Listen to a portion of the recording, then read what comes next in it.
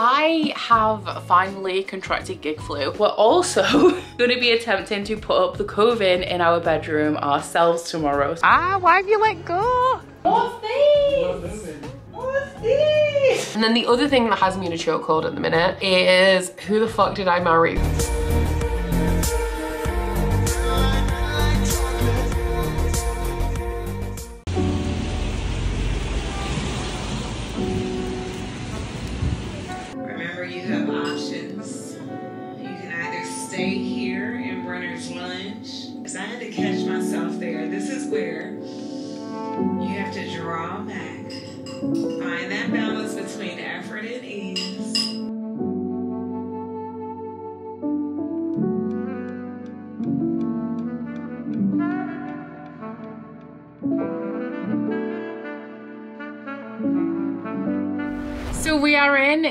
Final nine days of February and my only goal for the rest of the month is to finish my TBR. So I have five books on the agenda. I have these four plus an ebook which is my December Patreon pick which is Bone Spindle by Leslie Vedder. So in an ideal world I would get through five books in this vlog like by the end of the month. Is that realistic? We're gonna have to wait and see. I'm I feel like I could do it you know because two of these a manga and two of them I'm also currently reading so I've already made a start but we will start off I guess by talking about the two that I'm currently in the middle of because those are the ones that I'm theoretically going to be knocking out first. The main one I guess is Crown of Swords by Robert Jordan which is book seven in the Wheel of Time series and this one is definitely going to be done by Sunday because that is when the live show for this book is going to be. So I'm currently a co-host for the Wheel of Time along which is created by Sandra from Got a Thing for Things and we all know at this point that my relationship with this series, it's very rocky. It's been up and down.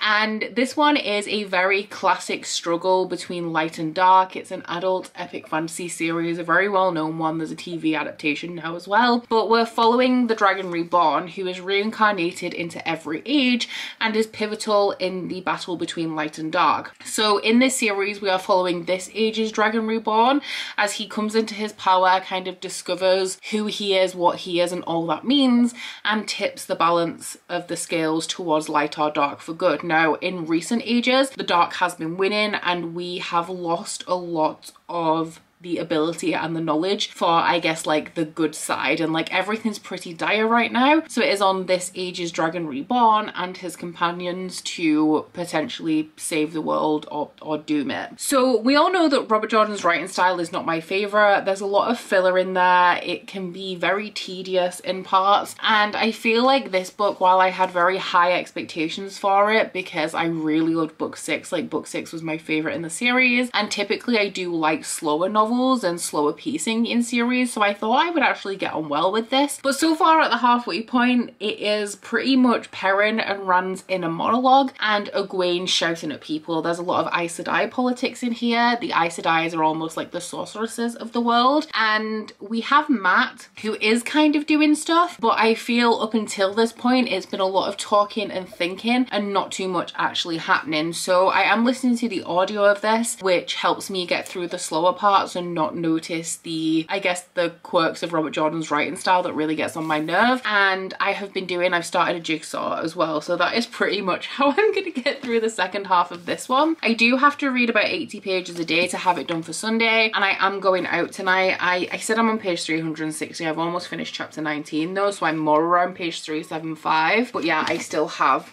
a ways to go with that one. I'm also reading Dreaming Sun Volume 5 by Ichigo Takano. This one is a shoujo manga and it is one of my favorite manga series. It's almost like a YA manga version of New Girl following this girl who is upset by her family. So she kind of decides she's leaving home and she just leaves.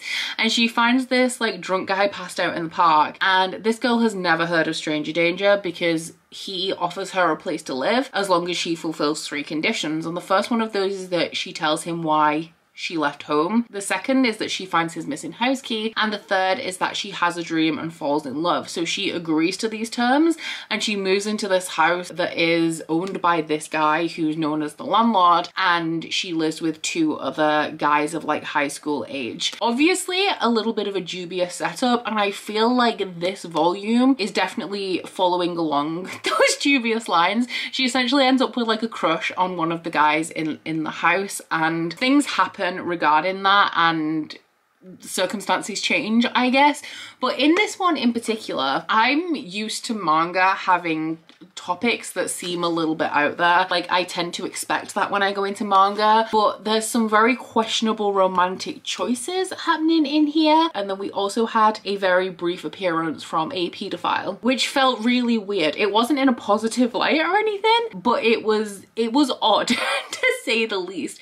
So this one in particular is not my favorite volume, but overall I really enjoy the tone and I guess the whimsy and lightheartedness of this manga and like other manga that is similar, I guess. So, like I said, I am going out tonight. It is my final gig of February, guys. I know if you're up to date on my vlogs, I have been all over the country seeing various bands this month.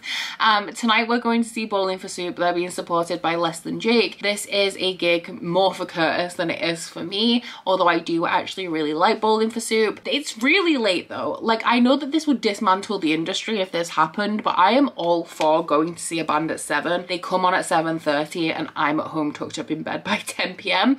Obviously like support acts are key to the music industry and also it's like a really integral part of like those bands gaining popularity and momentum. But the first I think support band for Bowling for Soup is on at 7.30. Less Than Jake is on at like 8.30 for 50 minutes and then Bowling for Soup I think are only on at like 9 30 so it's going to be a late one and until then I'm going to try and see. I've got like an hour until I'm making dinner. I'm gonna see if I can finish up editing my House of Flame and Shadow spoiler vlog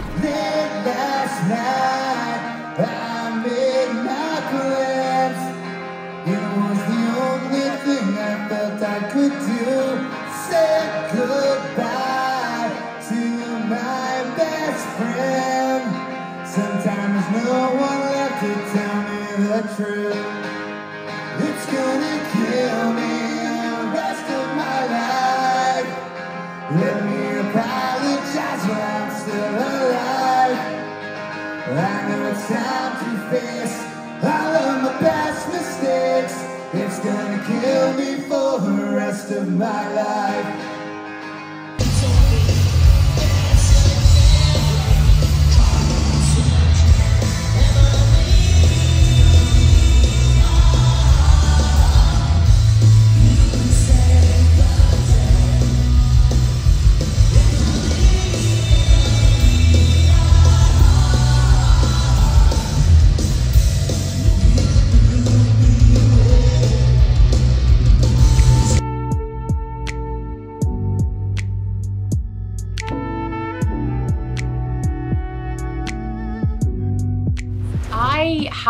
Finally contracted gig flu.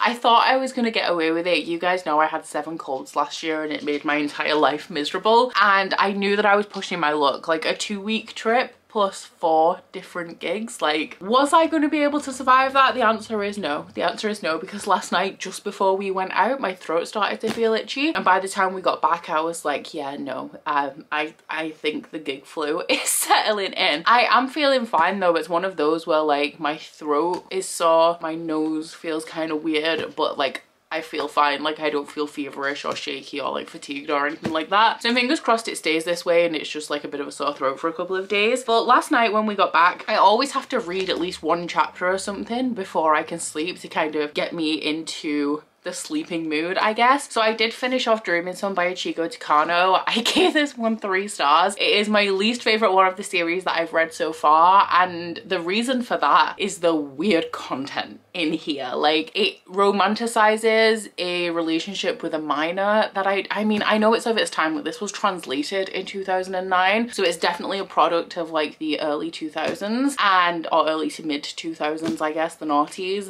But essentially, I don't want to spoil this, which is unfortunate, but like there is one character in this house who is older than the rest of them. Like most of them are high school age and then there's like one guy who's like, I think he's in his early 20s and something potentially romantic is starting to brew between the main character who is of high school age and this older character, which I gives me the ick. It gives me the ick and it's a shame because generally like I like all of these characters, but this is not, this is not it. And age has been brought into question a little bit. It's not entirely unchallenged and I feel like it is going to get to a point where it's like the age difference is just not it. But sadly that did not happen in this volume and therefore it is three stars. But overall like I do really like the fun, like light funny tone of this that deals with like slightly darker topics in places and this is still like a manga series that I really love. I noticed actually when I was putting this in my spreadsheet the last time I read a volume of this was in 2021. It's now 2024 and weirdly like it didn't feel like I hadn't read this in ages like I knew where I was up to pretty quickly and got into it pretty quickly so that is wild but let's not make it another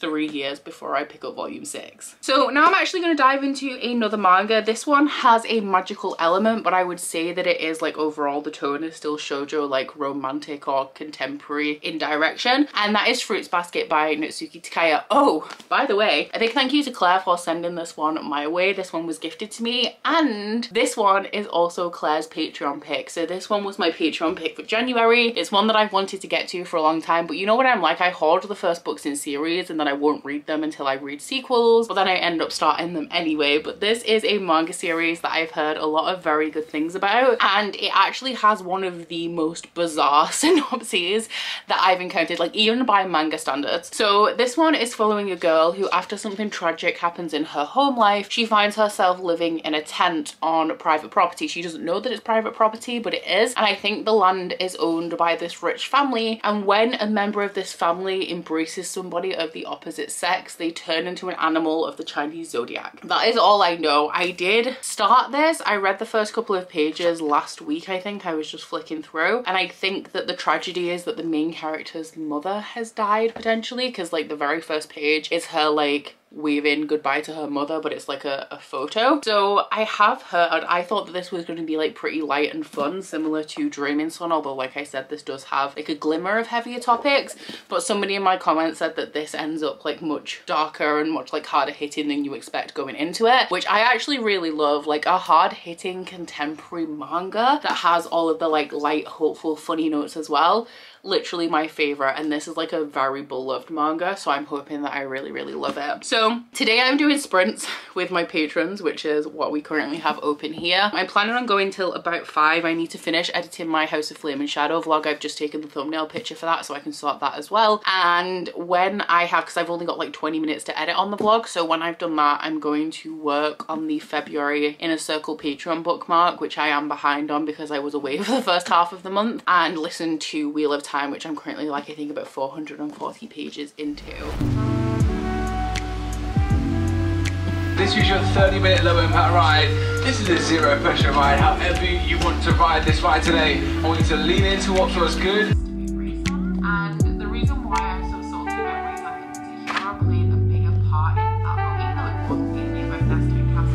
So I finished my jigsaw while I was proofing my vlog this morning. I'm gonna leave it here for a bit because you know you're just gonna sit with it for a while. I've had a lot of people ask why I don't have poster glue and why I don't stick them down and frame them. I mean guys I've done six puzzles in the last like three months. I have 13 to do. Like how much wall space do you guys think I have? Like I'm happy to do the puzzle, put it back in the box and then do it again later because that's the fun for me. Like I like to do the puzzle. I don't really care about the picture after it's done but I will break that down when I come back. I'm going to my dad's this morning just in general because I need to see him. I haven't seen him since I got back from Thailand aside from when he rescued me from the side of the road last week. So I have a couple of things that I got him in Thailand that I need to give him and we're also going to be attempting to put up the coving in our bedroom ourselves tomorrow. So I'm also going to go and raid his garage and see what tools he has so that like I have less than I need to buy when we go to B&Q later today. If you guys know I'm renovating my bedroom, right? Like we know that this is happening at this point. But the last time I left you, we were waiting for a quote on the coving. Like we'd done everything that we could do up until the coving and the company was taking like forever to get back to us. So he eventually got back to us with a quote of £1,000 for one and a half days of labor to put up coving, not including the cost of the coving, which would have been 400 pounds on its own because we were going to get like big heavy plaster stuff. So I was like, absolutely fucking not. Like that is an outrageous price. So then that's almost, including the price of the coving, that's almost what we paid just for the plastering, which I feel is a much more technical job and also was like four and a half five days of labor. So i have no idea where that price came from. But we reached out to another company and asked them to come and have a look and give us a quote and they literally they just didn't get back to us. So we're going to do it ourselves which means we're compromising on the quality of the coving because instead of getting like full traditional plaster coving we're going to be getting is it like polyduralene which is like almost polystyrene? And we're going to scream at each other tomorrow probably as we try and put it up. So i will of course take you guys along with me while we go through the process process of doing that. But right now I'm gonna head to my dad's and see what I can steal out of his garage before I go and buy the rest of my stuff later. Let's go. Ah, why have you let go? that was rude. I sound like shit. I just realized but I did manage to get everything done that I needed to do today. I did skip my workout because I, I feel okay considering I have a cold, but I'm not 100%. So I was like, fuck it, we'll make it up either tomorrow or next week. And then we went to Morrison's and we got a pizza for dinner, which was amazing. I'm about to be playing Fortnite in the next like 30 minutes or so, but I have started a new jigsaw, which is a 500 piece 101 Dalmatians one. This is one that I found in a charity shop and it is so old.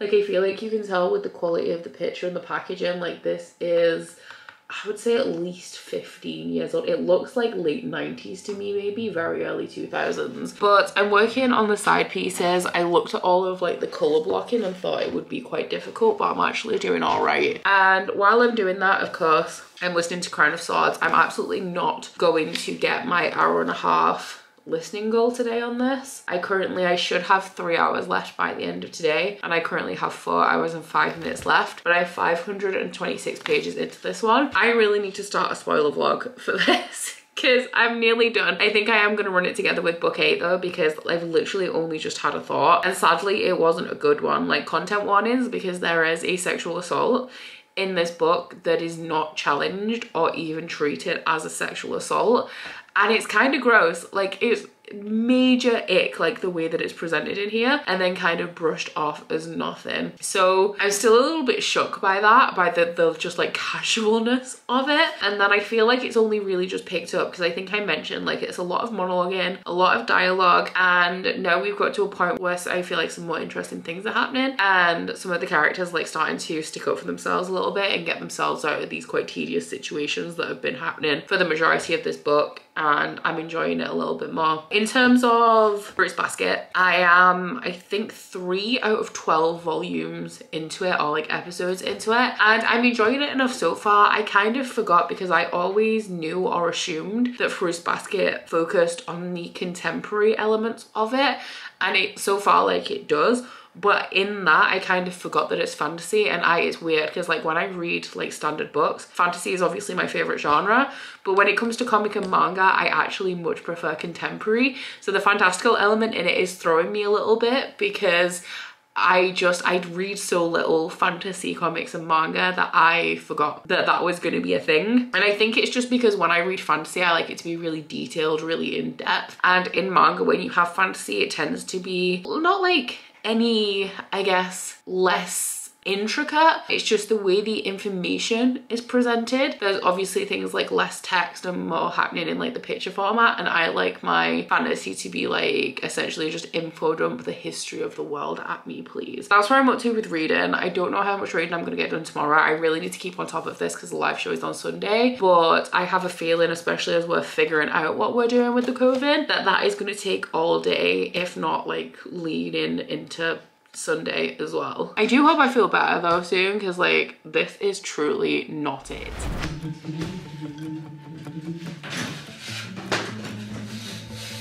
Every Sunday I used to watch cartoons but now I'm here Waking up with you I would get excited show. That's gonna be upstairs, that. The wires with the ceiling If you go around that way, I can stay here a movie, a matinee. Walk out in the middle, laughing all the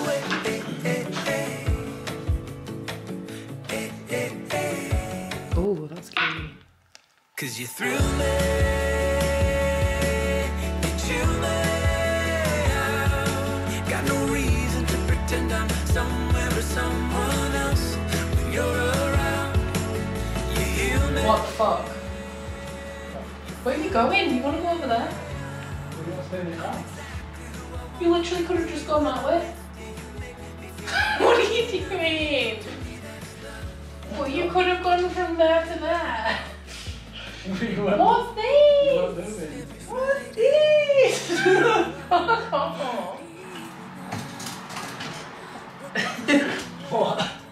I'm just struggling. Alright, I'm in. Get you like it first. and then you.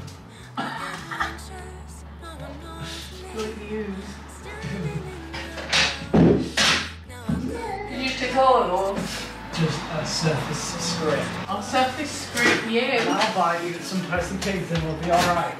Walk out in the middle, laughing all the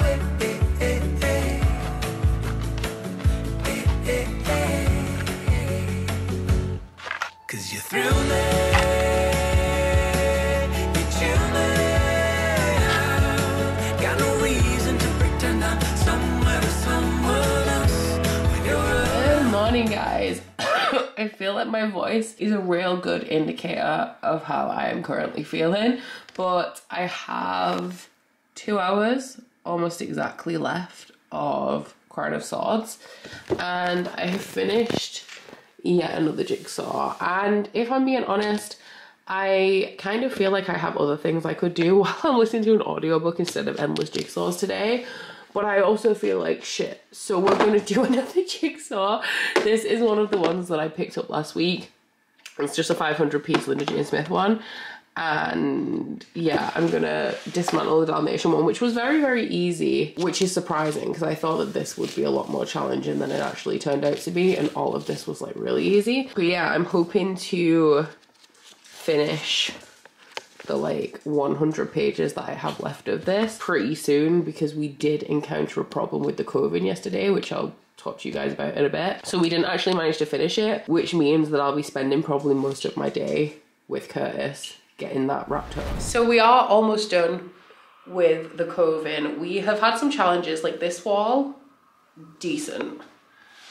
This wall, also decent. Above the bay window, there is a dip in the ceiling, which I feel we have now accentuated by putting coving up because this piece had to go in like slightly on a slant to actually match up with the top and the bottom lines of the coving. And then we have the chimney breast.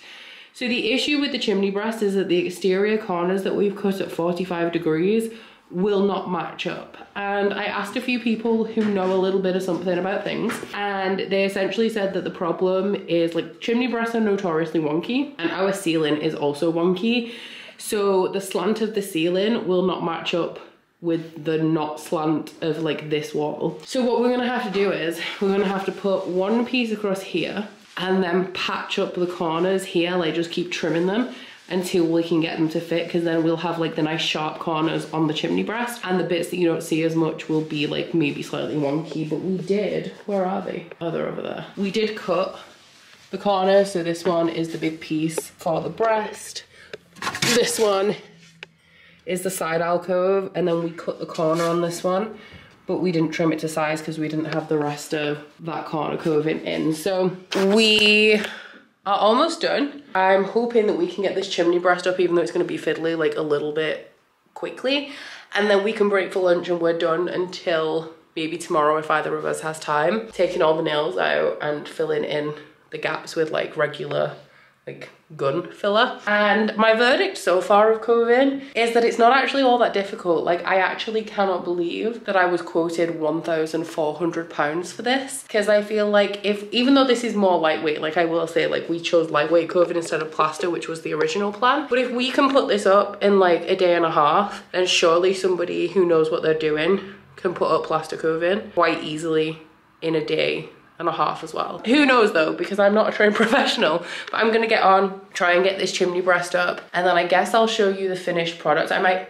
take some photos of it as it is now when we're done, and then I'll show you the finished product tomorrow or whenever it is that we've got the sealer up and cleaned and like sanded all of the bits of like stray bits of filler down. I finished the coving and it looks kind of a hot mess, but kind of all right at the same time. Considering what we were dealing with, I'm really proud of what we managed to achieve. But I have also finished Crown of Swords by Robert Jordan, which is actually it's real good because the live show is in like 10 minutes. But sadly, this is overall, I'm, I'm, not sure if I would say that it's my least favorite book in the Wheel of Time series so far, but I have given it two stars. So it is my lowest rated book in the Wheel of Time series so far. I gotta say, like, a big part of that is that I could not overlook the fact that a character was sexually assaulted and we just like were real casual about it and glossed over it. And obviously times have changed, and especially with this specific instance. I know why it isn't challenged and why it's super casual and why the character is laughed at when they tell people about it. But reading that from like the perspective of being in 2024 like blew my mind, like I was shocked. So if we push that aside for a second to talk about my thoughts on the rest of the book. I thought that this one took a long time to pick up. Like it was 500 pages before I really got into this. And while I did really enjoy, I would say that the 150 pages after that, but not like the very end of this, I, it was a long, long time coming. Like these books are always slow to start. And by the time we get to the end, I'm always like, should I just go into the next one? But then we always have like hundreds and hundreds of pages of like a super, super slow burn at the beginning where it's just truly not holding my attention. I think that now at book seven is the first point in the series where I kind of felt like I could just not continue this and that would be fine because the, the series continuously gets more and more complex and we have more and more side characters that are kind of prominent but they don't feel very different from each other in the way that Robert Jordan writes them and so it's hard to keep track of them unless you literally write down like this person is an Aes Sedai affiliated with these people etc for every character because I don't feel like in terms of the writing there is enough about them that makes it clear that they like who it is. And like a lot of the names are similar as well which also doesn't make it kind of any clearer. And while I am enjoying the series for the most part are enjoying it enough to continue. For me to fully keep track of every single thing that's going on I would have to pay way more attention to this than I currently am and I don't care enough about this series to pay that much attention to it. I'm kind of in it for the payoff and because it's such a iconic influential series that as like a fantasy reader I do think it's important for the most part to be familiar with series like this and one of the reasons why I personally like to read older series is to have that knowledge and see like the references from older classic like well-loved fantasy um, and how it's like illustrated in more recent books and kind of be able to trace those little things back to their origins. But yeah, like I feel like while the last book was my favorite book, a lot of the stuff at the beginning of this, while it wasn't the most interesting because it was a lot of monologues and a lot of dialogue, it also wasn't particularly particularly interesting. Also because of how complex it's now getting, it is also starting to lose me a little bit, which on top of it being not the most interesting thing in parts is contributing to that. So I feel like with every book, I'm like also following it a little bit less. Um, I probably am still going to continue because obviously I am a co-host for the read along and I'm kind of at this point at the halfway point, I do feel like I'm kind of invested. But that one was definitely not the best. In saying that, I do know the books 7 to 10 are a slow point in the series and I feel like they gradually get slower with 10 being the worst before it picks up again. So I'm already going into these kind of knowing that and I feel that's why I kind of wasn't surprised or taken aback by the fact that it took me like a long time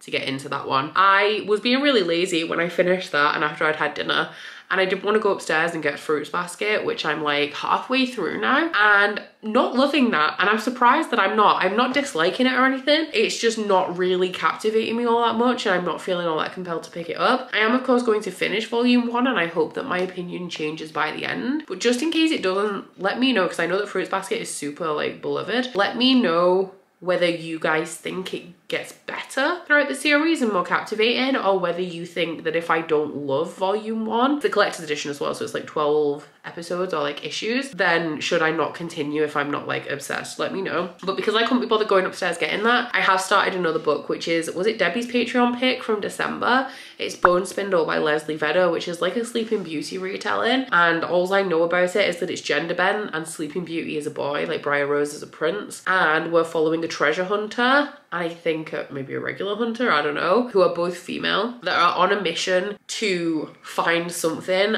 and along the way they are potentially going to have to wake up Briar Rose with True Love's Kiss, I'm assuming, but I don't really feel like they're into that. So far it's throwing me like I'm not very far into it all. I'm like 5%, which is probably like 20 pages, but it feels like a Western. And I don't know if that's just me, but it's reminding me a lot of like Sebastian de Castell, like the Spellslinger series, which I did after 100 pages into the first book book, but it almost has that kind of tone in parts, which you all know I don't like westerns, but also it's throwing me because it's obviously like a fairy tale retelling in what I'm assuming is a very fairy tale setting, like a classic high fantasy kind of setting. So that's thrown me through a loop. But looking at the time that I've been recording, the live show for Wheel of Time, yeah, it's about to start in four minutes. So I need to get myself set up, but I'll check in with you guys when I have something to report.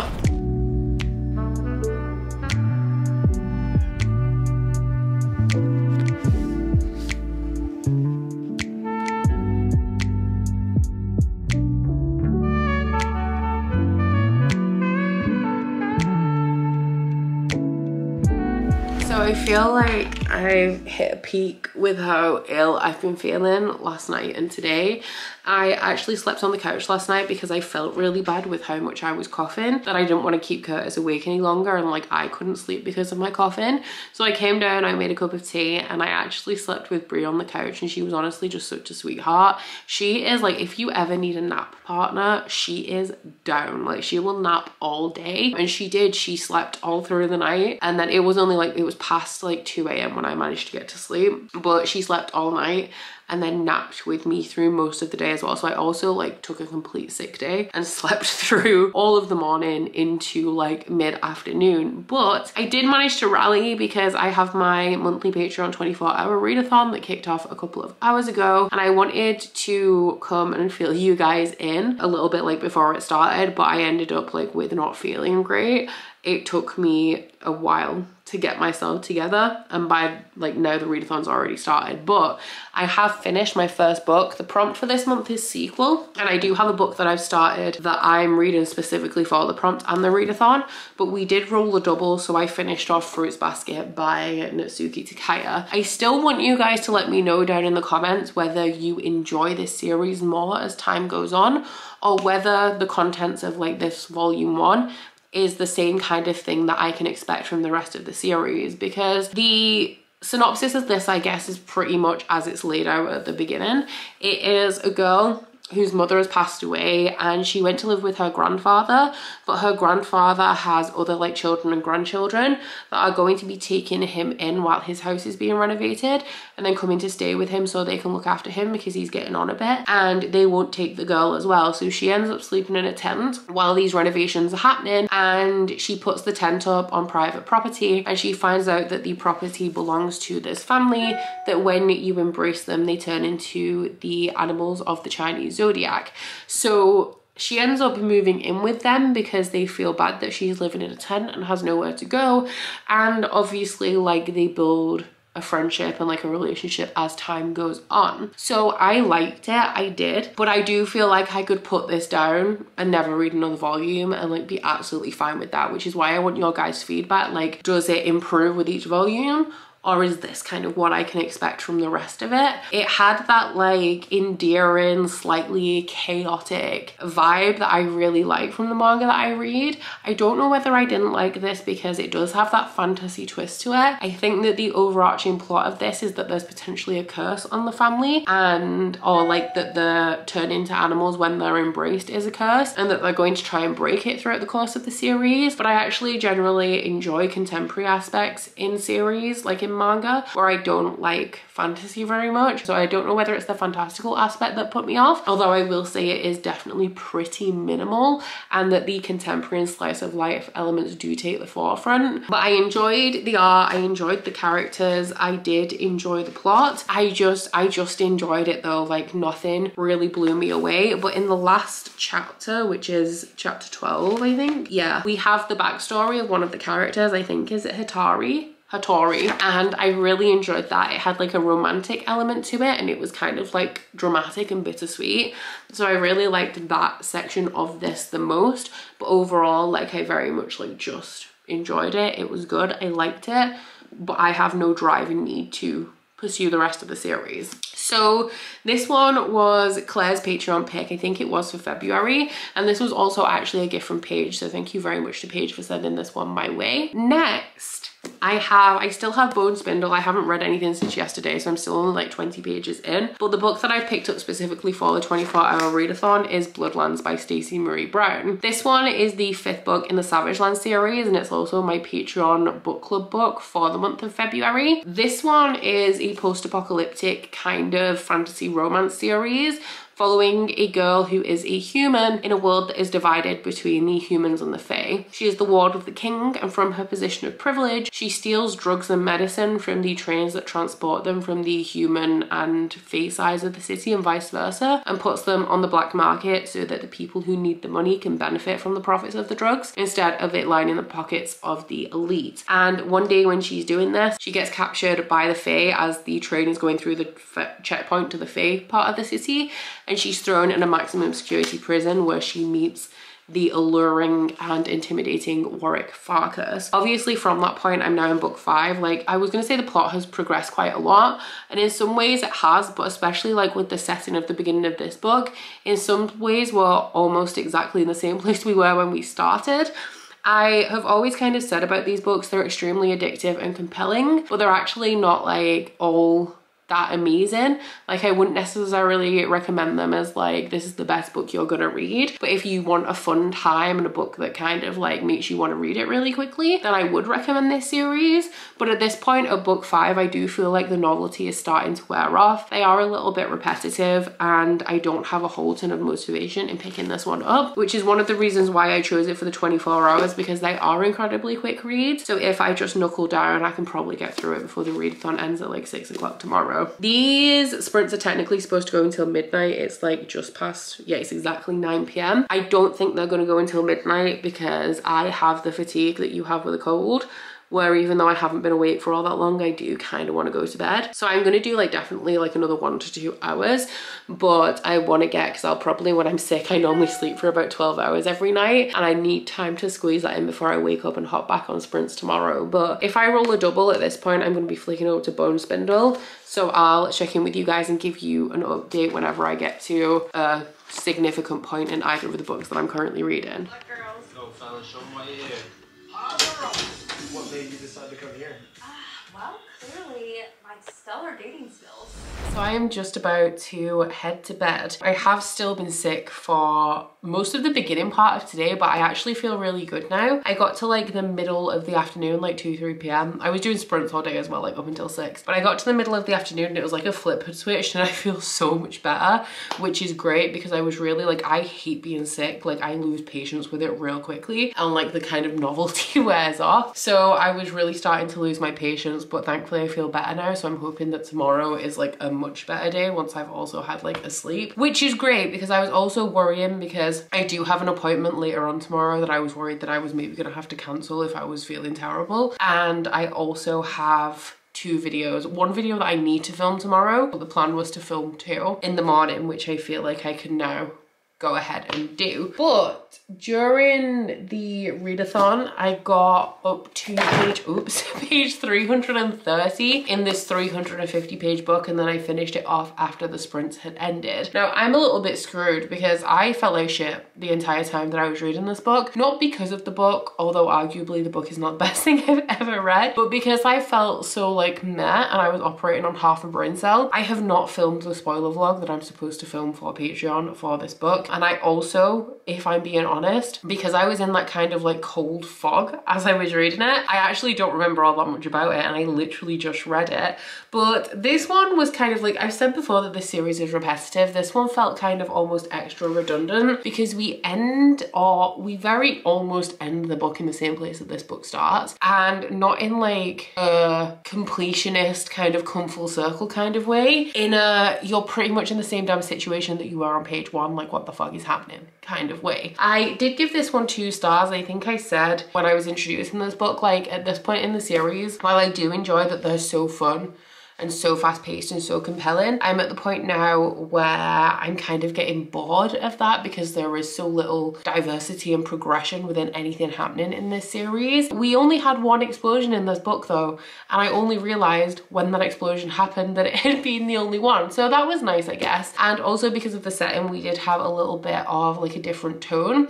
I will say that because I was reading this sick, I actually enjoyed it more than I feel like I would have done if I wasn't sick when I was reading this because I was only operating on like literally half a brain cell and that half a brain cell was could focus on this and absolutely nothing else. So I got through it a lot quicker. So again, I feel like if I was well, my mind would have like roamed a lot more and I would have kept putting it down and stuff. So two stars, probably on equal footing as the rest of the series. It's just I'm getting a little bit fatigued with this series now after reading them like every month back to back for the last five months. And I'm really glad that the last book is coming up in March. I do think that there is plenty to be either more books in this series or a spin-off. I definitely don't think it's following this direct storyline because it's been a while now. It would have been like two years since the last book was published. But I can say pretty much with certainty that it's highly unlikely that I will continue on with this series after I've read book six.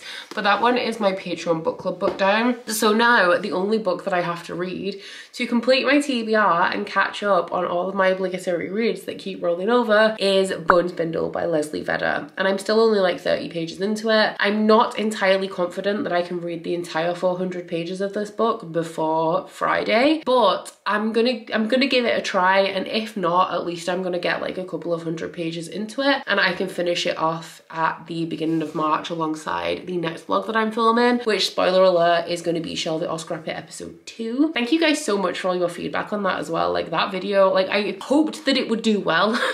but it exceeded my expectations of what well could be for my channel because while it's not my most viewed video on my channel ever, no video has grown as rapidly as that one did because that achieved like where it is within like a couple of weeks. And normally any videos that I have that are anywhere near that like grow over like months and years.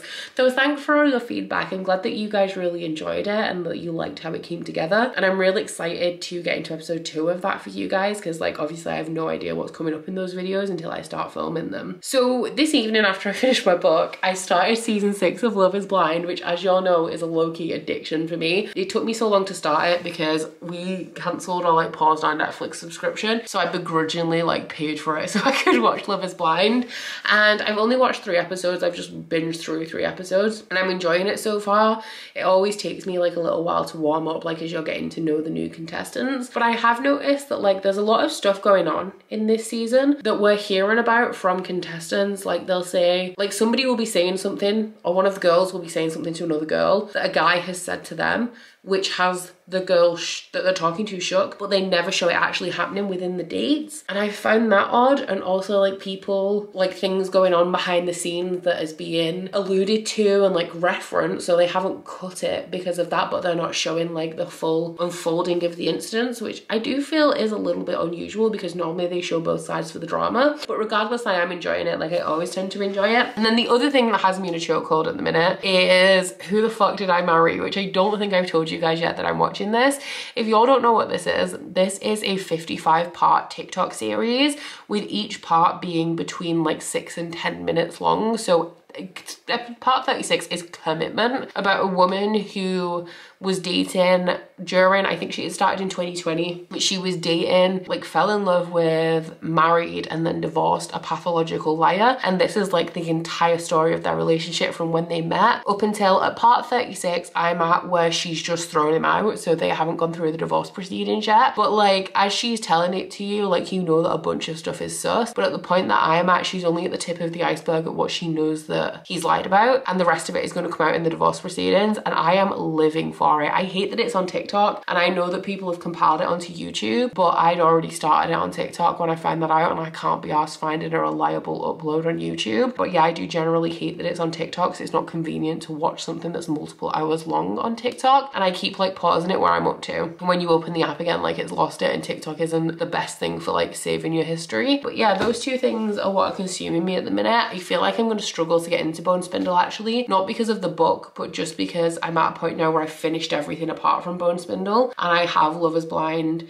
and Who the Fuck Did I Marry consuming my attention. I feel like it's going to be difficult for me to get into a new book when I'm like right at the beginning if you know what I mean. But anyway, I'm gonna go to bed because like I said, I do have to film in the morning and it's 20 to 12 because I've been sleeping like a ridiculous amount now that I'm starting to feel better, I'm not tired, but it's much later than I normally would go to bed. So I feel like my sleeping pattern's gonna be fucked. But I mean, I'm just gonna try my best. Also, I've been using this duvet on the sofa while I've been watching TV for like comfort because I'm not well. And now Hamilton's lying on it and I piled it on top of him because I want to take that upstairs now. Piled it on top of him hoping he would move because he didn't like it and he's just stayed. So I don't I don't know what we're going to do about that.